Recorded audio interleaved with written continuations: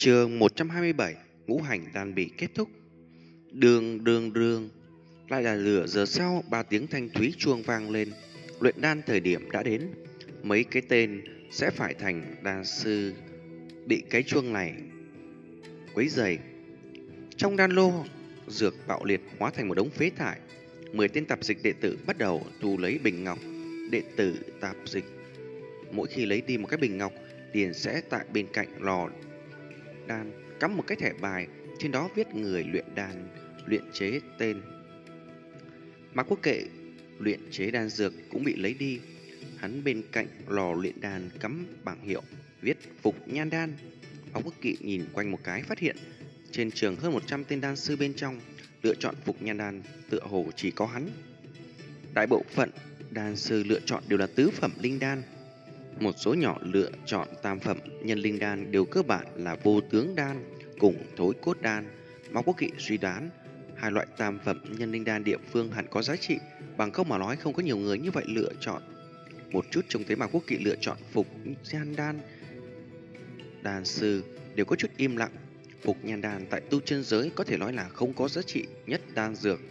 Nếu là chú nhan đan, có lẽ sẽ lựa chọn nhiều một chút.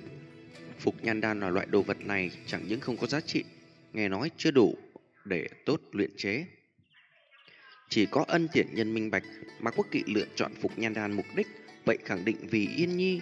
Rất nhanh sở hữu đan sư Bình Ngọc đều lấy đi, để tại năm tên đan sư Bình xét trên bàn. năm tên đan sư này mở Bình Ngọc, bắt đầu thay phiên kiểm tra đan dược chất lượng cùng phẩm cấp. Khoảng chừng hơn nửa canh giờ đi qua, mình ngừng đan sư đứng lên mọi người đều biết vòng thứ ba bình xét kết quả đi ra. Mình ngưng đan sư thành âm rất trong sáng.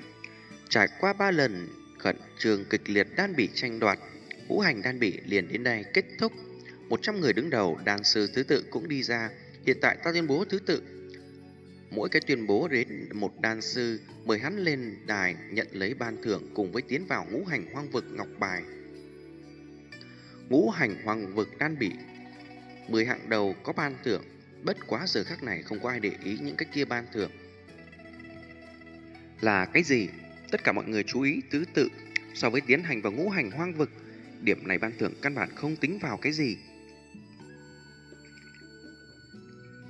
Hạng thứ nhất, số 37. Đan sư 261 phân. Hạng số 2, số 9, đan sư 257 phân. Hạng 3 số 2 đàn sư 256 phân. Hạng 4 113 Đàn sư Minh ngưng đàn sư, Một hơi báo 10 tên đan sư lúc này mới ngừng lại. Số 632 không có báo đến, mà quốc kỵ cũng không thèm để ý. Cái này tại hắn trong dự liệu. Mặc dù hoàn mỹ luyện chế ra một cái tam phẩm nhân linh đan, Phục dung đa nhàn đan. Nhưng mà tam phẩm nhân linh đan giá trị cùng tứ phẩm linh đan giá trị chênh lệch quá lớn. Hắn vòng 3 đan dược khẳng định kéo xuống rất nhiều phân.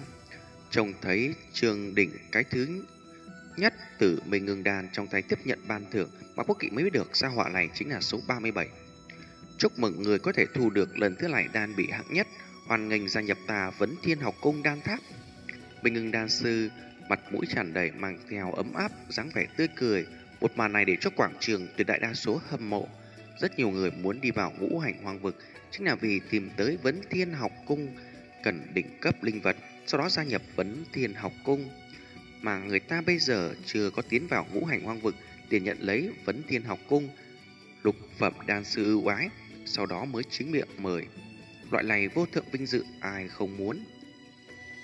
Mạc Quốc Kỵ thầm nghĩ, gia hỏa này thực sự là đạt được cả danh và lợi, chẳng những thu hoạch được hạng nhất ban thưởng phong phú cùng với một đống tiến vào ngũ hành hoàng vực danh ngạch, lại còn chiếm được vấn thiên học cung mời. Ta tạm mình ngừng tiền bối, vấn thiên học cung một mực là vãn bối ngưỡng bộ địa phương, có thể tiến vào vấn thiên học cung là vãn bối vinh hạnh. Trương đỉnh rất là đắc ý, tiếp nhận ban thưởng, thối lùi ra khỏi đàn tròn. Lúc đầu mà quốc kỵ coi là hạng nhất, hẳn là mục oanh, không nghĩ tới là trương đỉnh Càng làm cho Mạc Quốc Kỵ kinh dị là chẳng những hạng nhất không phải Mục Oanh, hạng hai cũng không phải Mục Oanh. Hạng số 9 là một tên nam tử, tên nam tử này đầu óc, tóc vàng, nam tử. Số 9 lời nói hiển nhiên không nhiều, tựa như đại ngôn tử, tiếp nhận bàn thưởng đối với Minh Ngưng Đan Sư mời, nói chỉ là một tiếng đa tạ, liền rút cuộc không nói lời nào. Hạng số 2 cuối cùng đến hạng số 3. Hạng số 3 là số 2. Một đến phiền Mục Oanh, cứ việc Mạc Quốc Kỵ từ Mục Oanh trên mặt nhìn ra không bất luận cái gì được mất. Hắn cũng có thể đoán ra Mục Oanh có chút không quá dễ chịu. Là một cái thiên trì kiều tử, thế hệ trẻ tuổi trung đan đạo công nhận đệ nhất nhân, làng thế mà không thu hoạch được thứ nhất, cái này đã coi như là mất mặt. Không có thứ nhất còn chưa tính, ngay cả thứ hai còn không được. Cái này không chỉ là làng mất mặt, mà vấn thiên học cung đàn tháp cũng không có mặt mũi. Lấy được, thưởng danh ngạch không ngừng bị báo ra. Từng đám trẻ tuổi đan sư đều ở bên trên lĩnh thưởng ban đi. Khi báo đến tiếp cận 50 tên thời điểm, mà Quốc Kỵ có chút lo lắng.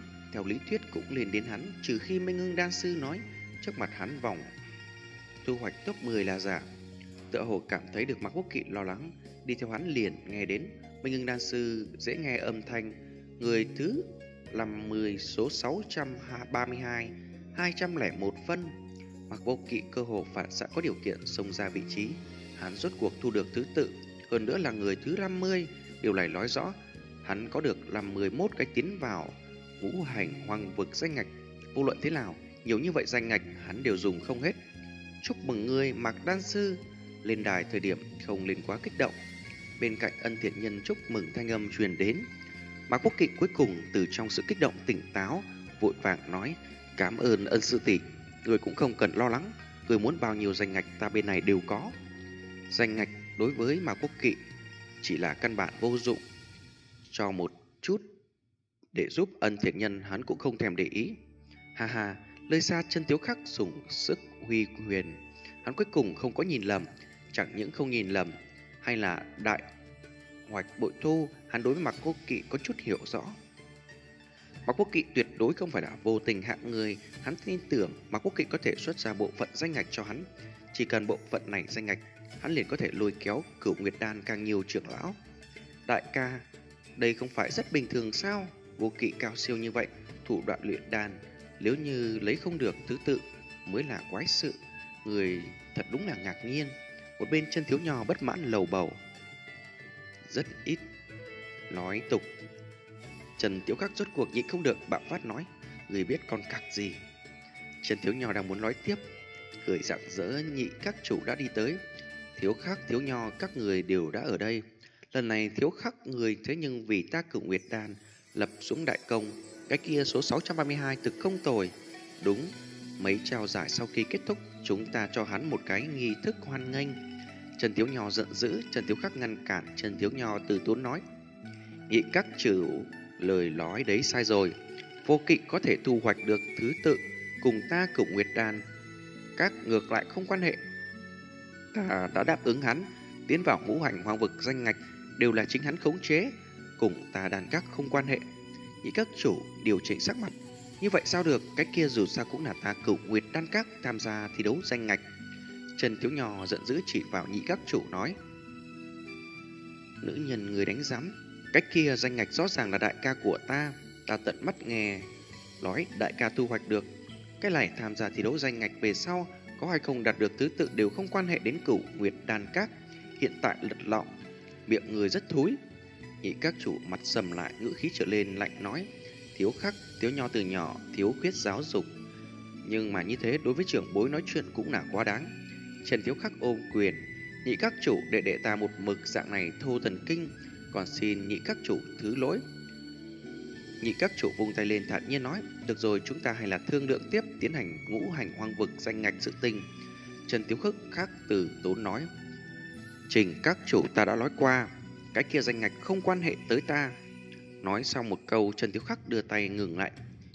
Nhị các chủ muốn nói chuyện ý tứ, tiếp tục nói, đừng bảo là danh ngạch không quan hệ tới ta, liền xem như có quan hệ. Ta cửu nguyệt đan các thiếu các chủ có chuyện gì ta không cần đi thỉnh giáo người khác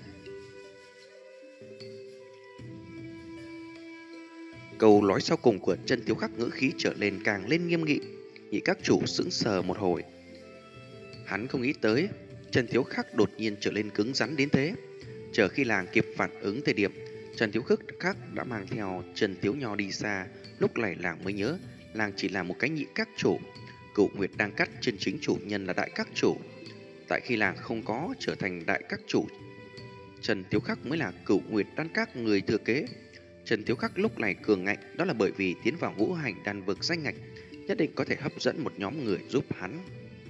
Cùng thời khắc đó, Khúc Uyển Nhi bên người lão giả sâu đen thở dài, cái này gọi là Mạc quốc Kỵ người trẻ tuổi ý chí thật đúng mạnh. Thế mà lấy được thác mạch cảnh tam phẩm nhân đan sư sát nhập vào 50 người đứng đầu, như hắn linh căn không phải là hạ phẩm. Trước đó, đồ quang minh rộng lớn A. Khúc Việt Nhi không có tiếp lời, làng biết sư phụ sẽ nói gì tiếp. Quả nhiên, lão giả dầu đen đang cảm thán một phen về sau tiếp tục nói, Uyển Nhi, vô luận thế nào, đợi lát nữa người cũng phải đem hắn hẹn đến, mà lại lên sớm không lên muộn.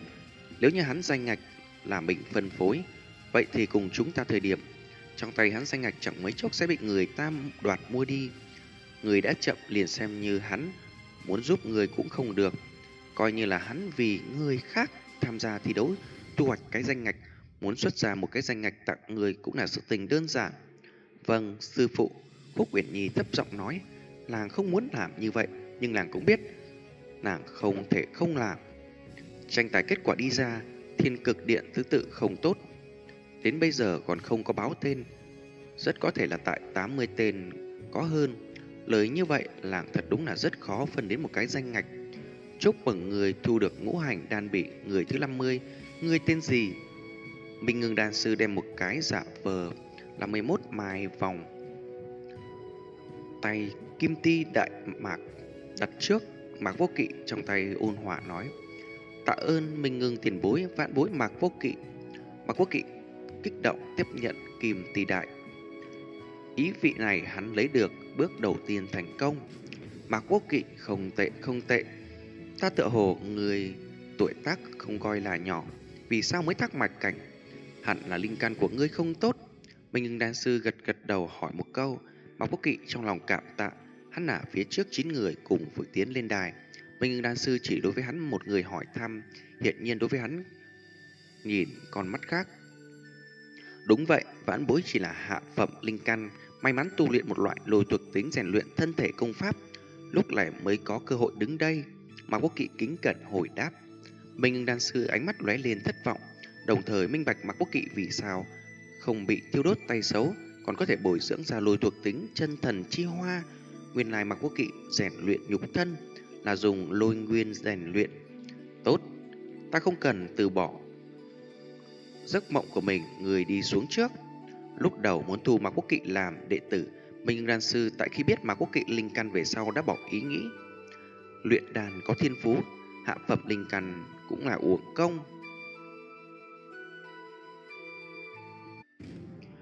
Trường 128 Lửa nóng vòng tay Hoàng Quốc Kỵ đi xuống đàn tròn thời điểm liền đã mở ra trong tay kim ti đại. Bên trong khoảng chừng 51 cái ngọc thủ hoàn. Đây đều là tiến vào ngũ hành hoang vực chìa khóa. Mỗi một cái ngọc hoàn đại biểu cho một cái danh ngạch tiến vào ngũ hành hoang vực.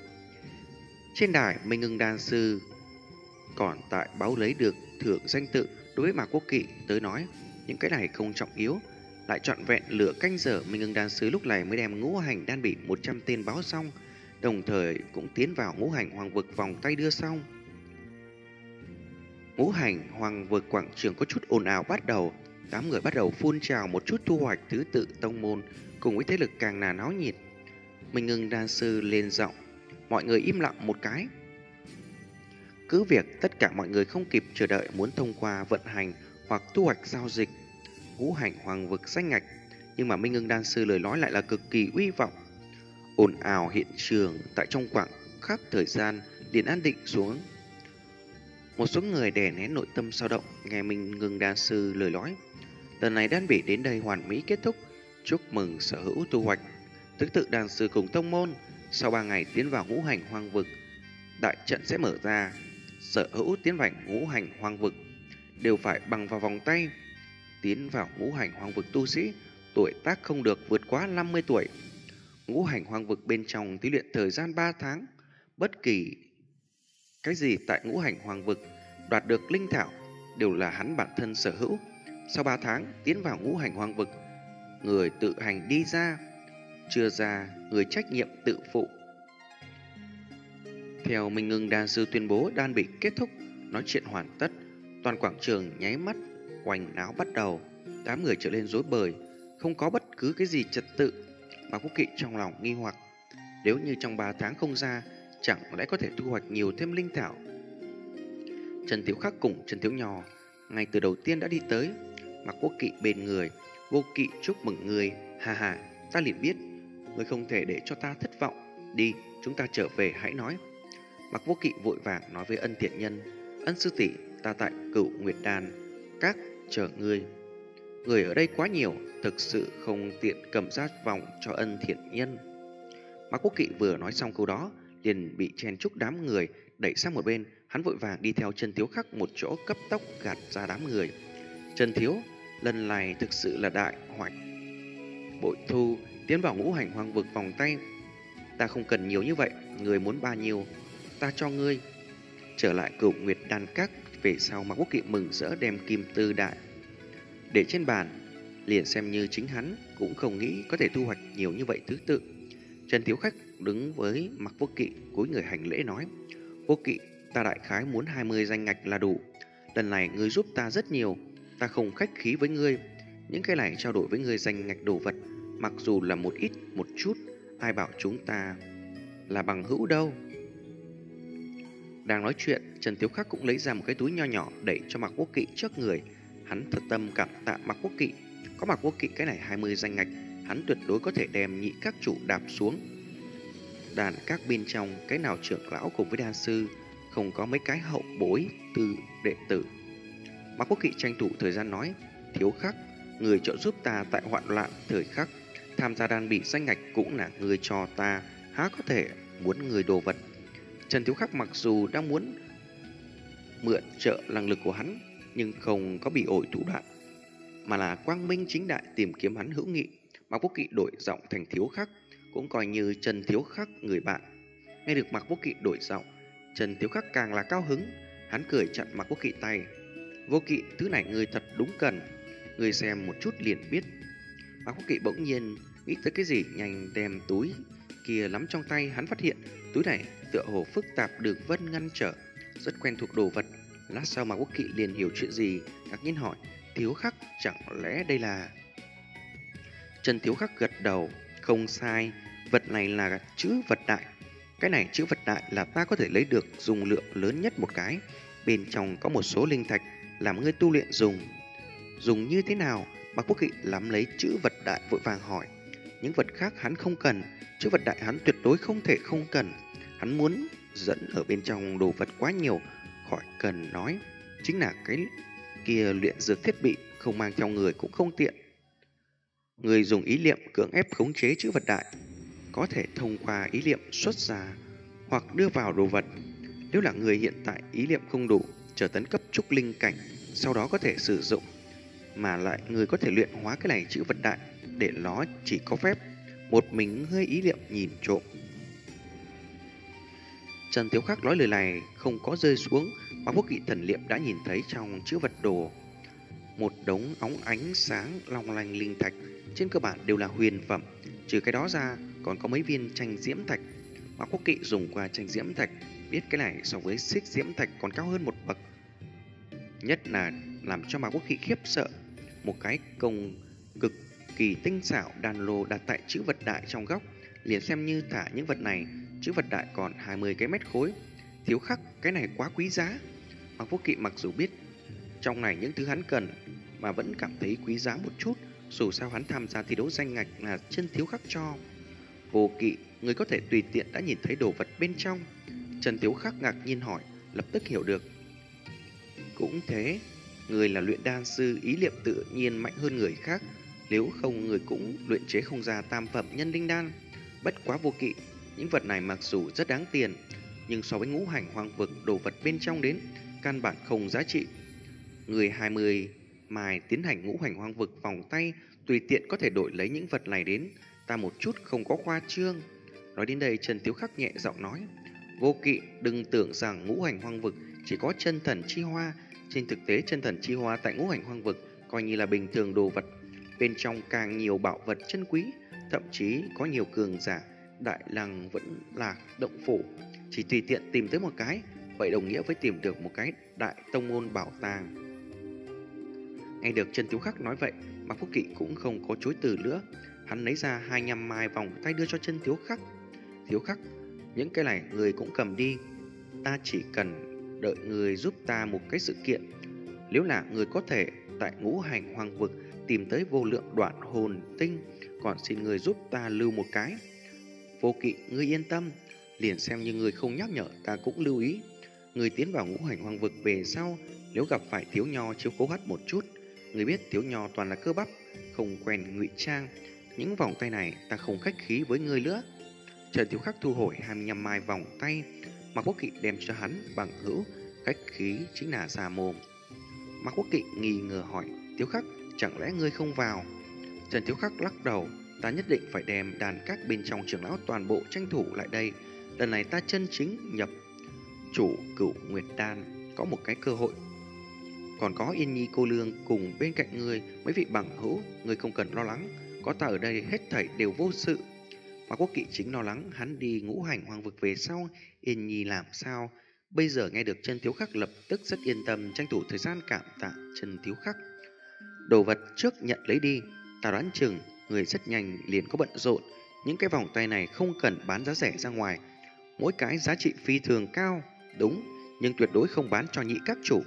Trần Thiếu Khắc sợ Mạc Quốc Kỵ không biết vòng tay giá trị, giá rẻ liền bán ra ngoài cố ý nhắc nhở một câu. Ta biết, Mạc Quốc Kỵ gật đầu, liền xem như Trần Thiếu Khắc không nhắc nhở, hắn cũng không đưa vòng tay bán cho cửu nguyệt đàn các nữ nhân kia. Đúng rồi, tiếu Khắc, ta còn nghe Minh Ngưng Đan Sư nói, sau 3 tháng tự hành đi ra, nếu là tại thời bên trong không ra được, chẳng lẽ thể có thể được nhiều thứ hơn?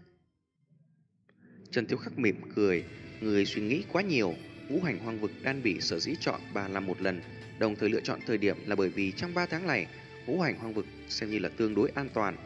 Cỡ lớn yêu thú đều sẽ tiến vành vào trong ngũ hành hoang vực chỗ sâu, đồng thời ngũ hành hoang vực xương độc cũng tản đi. Nếu là có người vượt qua 3 tháng không ra, trên cơ bản đều là người chết. Ngũ hành hoang vực có xương độc, Bác Quốc Kỵ ngạc nhiên nói. Trần Thiếu Khắc đang muốn nói chuyện, đứng tại Bác Quốc Kỵ cửa ra vào quản sự lên tiếng kêu. Thiếu khắc chủ, đàn các mấy vị trưởng lão cùng với đan sư cầu kiến. Trần Thiếu Khắc vội vàng đứng lên. Vô kỵ, những cái này đến lúc đó ta cho người một bản sổ tay, ta trước có việc phải đi. Nói xong, Trần Thiếu Khắc vội vàng đi ra ngoài, lúc này đối với hắn cũng là thời điểm mấu chốt nhất. Trần Thiếu Khắc vừa đi, mà Quốc Kỵ chưa kịp đem chữ vật đại lấy ra nghiên cứu, vì bệnh trụ liền tiến tới đưa tin. Mạc Sư Huynh ân sư tỷ tới. Mạc Quốc Kỵ vội vàng đứng lên, ta đi đón nàng. Cửa vào ân thiện nhân thanh âm truyền đến, Mạc Sư Đệ ta đã đến. Mạc Quốc Kỵ nhanh đem ân thiện nhân tiến đến, vì đảng rót một chén trà, ân sư tỷ mời ngồi. Đối với ân thiện nhân không có thu hoạch được top 100, Mạc Quốc Kỵ là thật tâm đáng tiếc. Hắn cảm thấy ân thiện nhân năng lực liền xem như tiến vào top 10 cũng có thể tiến vào trước 20. Tạ ơn, ân thiện nhân ngồi xuống mang theo chén trà ấy náy nói. Mặc sư đệ, nếu không phải vận khí của người tương đối tốt, ta xem như là hại ngươi. mà Quốc Kỵ khoát tay chặn lại, chuyện đã qua coi như xong. Ân thiện nhân cũng không có lỗi với hắn địa phương, tương phản còn trợ giúp hắn không ít. mà Quốc Kỵ lại là một cái nhớ tình bạn cũ. Đối với sự trợ giúp của hắn, hắn tuyệt không tính toán. Ân thiện nhân hoàn toàn chính xác có tư tâm, trên thực tế ai có thể không có tư tâm. Hắn cùng với ân thiện nhân cũng không phải đặc biệt tốt quan hệ. Ân thiện nhân có thể làm được dạng này xem như là phi thường đủ ý tứ. Mạc Quốc Kỵ nguyên tắc làm người một mực không quá nhiều yêu cầu người khác. Đối với một cái quá nhiều yêu cầu người khác, hắn bình thường đều là kính nhi viễn chi. Loại người này có thể lui tới, lại không thích hợp làm bằng hữu. Ân sư tỷ, tại bên này có rất nhiều danh ngạch, người muốn bao nhiêu cứ mở miệng. Mạc Quốc Kỵ trực tiếp đem đề tài nói tới chuyện hướng. Ân thiện nhân không trả lời ngay mà lấy ra giấy đưa cho Mạc Quốc Kỵ. Mạc sư đệ, ta nghĩ cái này hẳn là ngươi cần. Trường 129 trong mắt người khác Mạc Quốc Kỵ. Mạc Quốc Kỵ nghi ngờ mở giấy làm cho hắn rõ ràng trên giấy nội dung, lập tức kinh dị hỏi. Hộ, hồn, địa, hà đan, đan phương. Ân sư tỷ, ngươi luyện đan thời điểm lựa chọn cái này. Mạc Quốc Kỵ rốt cuộc minh bạch vì sao ân thiện nhân thất bại. Hắn luyện chế qua tráng thần đan. Tráng thần đan liền tương đối khó luyện chế. Đó là tam phẩm nhân linh đan. Hộ hồn địa hà đan là tứ phẩm linh đan, tự nhiên càng khó luyện chế. Huống chi còn là dùng xích diễm loại này cấp thấp hỏa diễm, thời gian lại hạn chế trong vòng một canh giờ, ân thiện nhân luyện chế thất bại cũng coi như là có thể hiểu. Ân sư tỷ lấy thành tích của người, nếu lựa chọn đồng dạng tứ phẩm linh đan, ngươi hoàn toàn có thể cầm tới thứ tự. Mà Quốc Kỵ hơi nghi hoặc một chút hỏi, hắn cần hộ hồn địa hà đan, không có nghĩa là ân thiện nhân cũng cần loại này. Ân thiện nhân mỉm cười, ta cũng là bốc lên một cái thanh hiệp, nếu là thành công, ta có thể chen vào top 10, nếu không thành công, không phải người đáp ứng cho ta danh ngạch, ta nghĩ người hẳn cần cái này đan phương. Cảm ơn ân sư tỷ, cái này đan phương ta liền nhận lấy. Người cần bao nhiêu danh ngạch nói ta biết, ta bên này không cũng còn nhiều. Ta duy nhất nghi vấn chính là ân sư tỷ, ngươi vì sao nói ta cần cái này đan phương? Bà Quốc Kỵ đem trong lòng không hiểu hỏi ra, ân thiện nhân lần nữa cười một tiếng, người khác không biết tu vị người khẳng định, cho là người thắc mạch viên mãn, thậm chí đã bước vào trúc linh cảnh tồn tại, ta rất rõ, người nhiều nhất là thoát phàm tầng tư. Một cái thoát phàm tầng 4 tu sĩ muốn luyện để ra thiết tâm bầu quả, thậm chí luyện chế ra tam phẩm nhân linh đan, chỉ dựa vào tu vị đó là tuyệt không làm được, mà người không phải cái gì kinh nghiệm phong phú lão sư. Khả năng duy nhất chính là người tu luyện thầm liệm lực lượng, lấy tu vị của người, dù là tu luyện thần liệm lực lượng, luyện đàn cũng rất gian nan. Ta biết, người vì Yên Nhi chắc chắn sẽ không lựa chọn cái này đan phương. Ta dứt khoát giúp người một cái, mà quốc kỵ trong lòng nhảy lên, hắn thực sự chính là dựa vào thần liệm lực lượng, tình luyện dược liệu thành công. Chính là bởi vì ân thiện nhân nói, người khác khẳng định cho là hắn thác mạch viên mãn, lửa bước trúc linh tồn tại, mà ân thiện nhân biết tu vị của hắn Lúc trước tại vô ngân kiếm sơn chỉ là thác mạch tầng 3. Dựa theo ân thiện nhân lý giải, hắn linh căn tư chất kém như vậy, đương nhiên không tấn cấp quá nhanh, cho nên thác mạch tầng thứ tư là cao. Chính bởi vì ân thiện nhân cho là hắn mới thác mạch tầng tư, lúc này mới đánh giá hắn tu luyện có thần liệm lực lượng, không nghĩ tới ân thiện nhân chó ngáp phải rồi, hắn đúng là tu luyện thần liệm lực lượng. Bất quá, hắn tu vị không phải là thắc mạch tầng tư, mà là thắc mạch tầng 8. Mạc Quốc Kỵ đứng lên cúi người hành lễ. Ta cũng không có tu luyện thần liệm lực công pháp, mà là ta vô tình thu được thần liệm lực lượng. Ân sư tỷ còn xin vì ta giấu giếm. Thần liệm lực lượng tu luyện thủ đoạn mà Quốc Kỵ thật không có. Hắn là tráng thần đan loại đan dược này, hắn cũng không dễ dàng lấy ra. Ân thiện nhân cười cười, ta giúp người giấu giếm đồ vật còn thiếu sao, cho nên người không cần lo lắng. Cái này đan phương người giữ lại. Trước đó ta xem thực ngươi hiện tại ta khẳng định Ngươi có thể trở thành tứ phẩm địa đan sư. Còn ngũ hành hoàng vực vòng tay Ta chỉ cần ba cái là được. Chính ta cần một cái Mặt khác chính là thiếu cô tông trụ Lần này ngũ hành hoàng vực đằng sau Ta muốn rời khỏi vô ngân kiếm phái Cho nên nhân tình này là ta trả cho hắn. Bạc Quốc Kỵ không chút do dự Lấy ra bốn cái đưa cho ân thiện nhân. Ta tạ ân sư tỷ, Người lại giúp ta một lần. Lời lành nhiều một cái vòng tay, Làm phiền ngươi giúp ta mang cho tần trần. Tần tương vũ, Tù vị quá thấp Mặc kỵ không lấy vòng tay cho hắn, Còn cho một cái vòng tay cho tần trần, Hoàn toàn bởi vì tần tương vũ.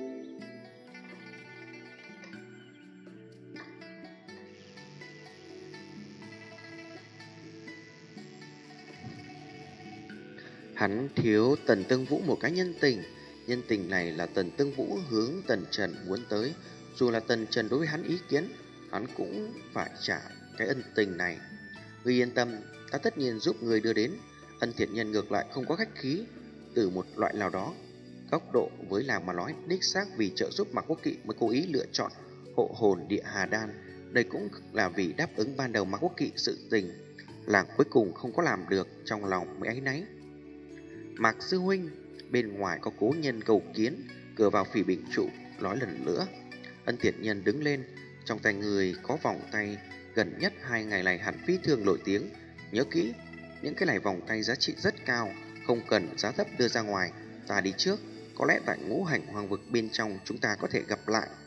Mà quốc kỵ đem ân thiện nhân Đưa đến cửa ra vào. Liền biết cố nhân là ai? Khúc Uyển Nhi, Ban đầu ở trên thuyền thời điểm Khúc Việt Nhi ra tay cứu hắn một lần. Về sau tại trường Lạc Thành Khúc Việt Nhi một lần nữa giúp hắn. Hắn tin tưởng lấy Khúc Việt Nhi kiêu ngạo. Nếu bình thường đồ vật, chắc chắn không chủ động tìm tới trên đầu hắn. Hiện tại Khúc Việt Nhi tìm tới, Nói rõ là tiến vào ngũ hành hoang vực đối với làng trọng yếu. Mạc Quốc Kỵ gặp qua Khúc Sư Tỷ, Gặp qua vị tiền bối này, hai vị mời đến. Mạc Quốc Kỵ nhận biết Khúc Việt Nhi lại không biết Khúc Việt Nhi bên này lão giả dâu đen. Cái này lão giả dâu đen cùng với Khúc Nguyệt Nhi cùng đi Hẳn là Khúc Nguyệt Nhi người thân cận mới đúng. Mặc Đan Sư đây là sư phụ ta.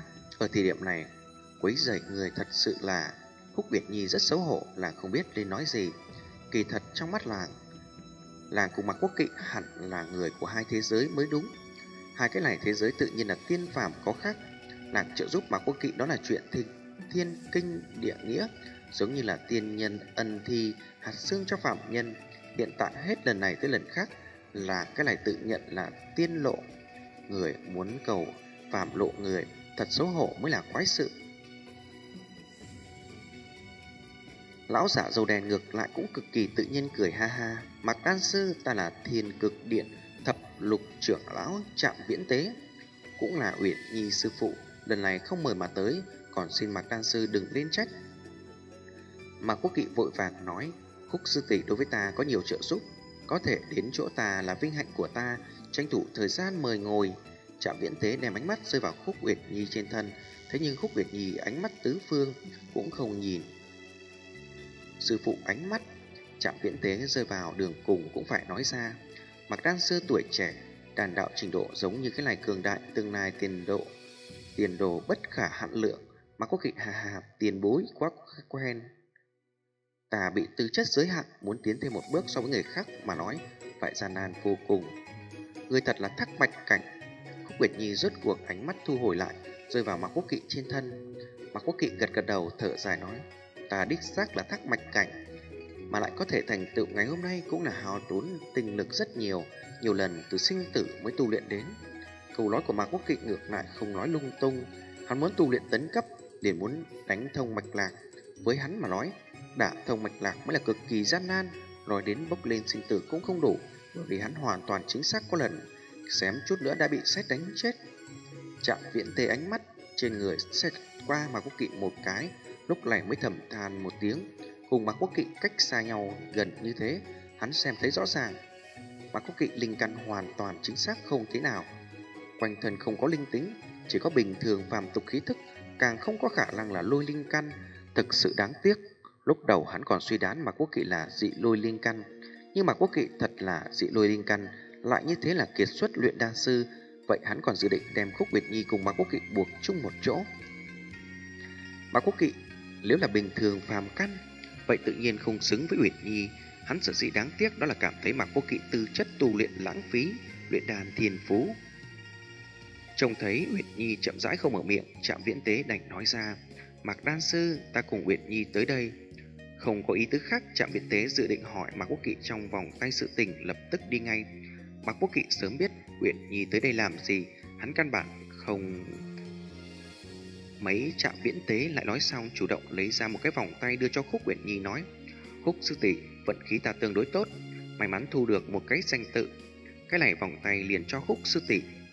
Đà tạ mặc đan sư, Cái này vòng tay bao nhiêu linh thạch ta cho ngươi. Khúc Việt Nhi tranh thủ thời gian tiếp nhận vòng tay Làng chính là không biết thế nào mở miệng, Không nghĩ mà quốc kỵ căn bản không cần nàng mở miệng. Mạc Quốc Kỵ mỉm cười, Khúc sư tỷ, người giúp ta mấy lần, Cũng không muốn ta thứ gì, chỉ là một cái vòng tay, ta liền muốn khúc sư tỷ linh thạch. Ta mà quốc kỵ chẳng phải là quá mức thế lợi chút. Ngay được mà quốc kỵ đều như vậy nói, khúc quyệt nhi chỉ còn không sách linh thạch sự tình, rất ngượng ngùng đứng lên cảm tạ một câu. Trạm viện tế biết mình đệ tử là hạng người gì khẳng định không có ý tứ tiếp tục lưu lại hắn cũng không nghĩ đến sự tình thuận lợi như vậy dứt khoát đứng lên nói ra Mạc Đan Sư, ta cùng Nguyệt Nhi tới đây kỳ thực là vì vòng tay này sự tình. Nếu Mạc Đan Sư không nguyện ý muốn linh thạch, Vậy tương lai Mạc đan sư có gì khó khăn, có thể trực tiếp đi thiên cực điện tìm kiếm ta, như thế chúng ta liền không quấy rầy mạc đan sư.